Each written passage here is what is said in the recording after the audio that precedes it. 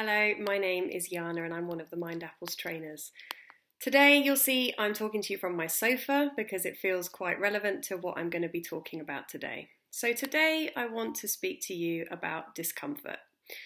Now, many of you are saying to us at the moment that there are certain habits that you're getting into which maybe you would prefer not to be in and you're finding it hard to reverse them.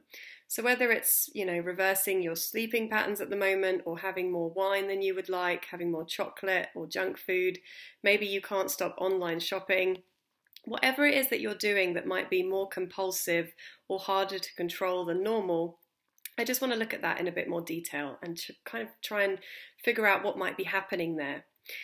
Now, at Mindapples, we're experiencing many of the same issues across the team, that we are facing a lot of uncertainty at the moment. And one of the ways that we've found that's useful of um, thinking about what's happening at the moment when it comes to these behaviors that maybe aren't very useful for us in the longer term or very healthy is to really think about the mood states that we're finding ourselves in and how this might relate to this behavior.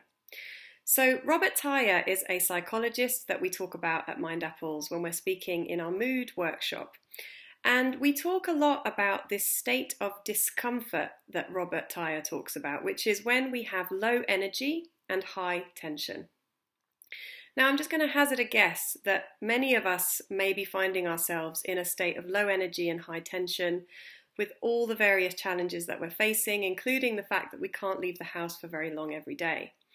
So, going to the pub or going even to the playground to take your children to the playground, these things that we may have done to try and reduce our energy, sorry, our tension and, and raise our energy, they just aren't open to us at the moment. So, we're needing to find new ways to do that. So for me in particular, right now, you know, it's a very common sight that my toddler will be climbing on my head while I'm trying to get some work done, or I'm, you know, just trying to find ways to entertain him. And at the end of the day, I feel exhausted a lot of the time, and I feel more tense than I normally would because I'm trying to do everything under one roof.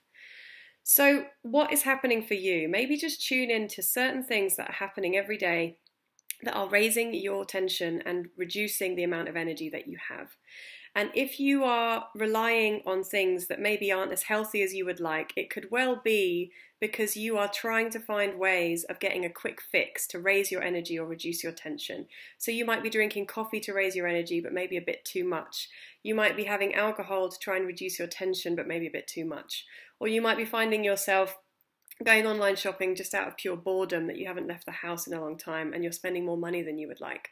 All of these things are because we're trying to find comfort in a time that could be creating a lot of discomfort for us. So it's very human and very natural that this is happening. But the more that we can understand this, the more that we can begin to become a bit more in control of what we're doing rather than our habits taking control of us. So have a think about things that you could do every day to raise your energy and reduce your tension that are more healthy or sustainable than what you might currently be doing. So it could be that you could go for a walk when you need to raise your energy and reduce your tension, or it could be that you want to do some other kind of physical exercise. Maybe you want to ha absolutely have some comfort food. Nobody is against that, but just make sure that you're balancing it with a bit more nutritional content in other food, or maybe more hydration, drinking more water just finding ways to try and balance some of this out. And hopefully, the more that you know and that we know about why we're doing these things, it might become easier to put that into perspective and just bring a bit more balance back. So I hope that's been useful in some way. Please do stay in touch with us. We're going to have lots more videos, lots more content, tip sheets, and information coming your way to try and help to navigate this time for all of us to kind of take care of ourselves as best we can.